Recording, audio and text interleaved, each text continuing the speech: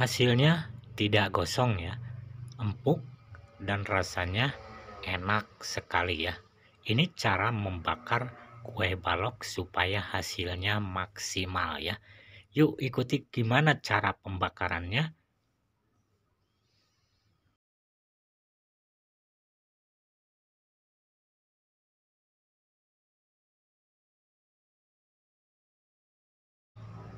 Assalamualaikum warahmatullahi wabarakatuh. Jumpa kembali dengan lezat mantap ya. Nah ini mau membakar kue balok supaya tidak gosong ya Dan hasilnya maksimal. Yang pertama nyalakan kompor Kemudian olesi dengan margarin cetakannya ya. Kompornya kecil ya Paling kecil apinya. Kemudian masukkan adonan kalau sudah dilumuri dengan margarin. Kita masukkan adonannya secukupnya ya.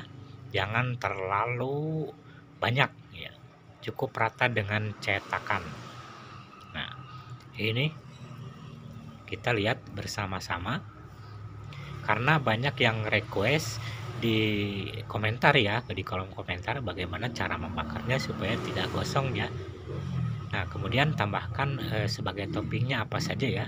Di sini pakai topping coklat. Nah, seperti ini. Kemudian kita sungkup dengan bara api ya. Nah, bara apinya sangat cukup ya panasnya.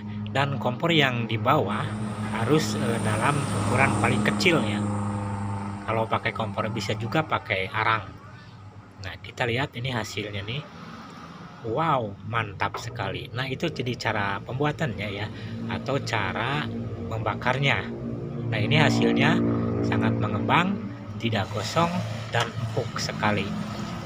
Untuk e, resepnya sudah ada di video sebelumnya lezat mantap ya Semoga ini ada manfaatnya buat sahabat semuanya yang request ya untuk cara pembakaran. Dan Mantap mengucapkan terima kasih atas segalanya dukungan dan supportnya terhadap channel Lejat Mantap.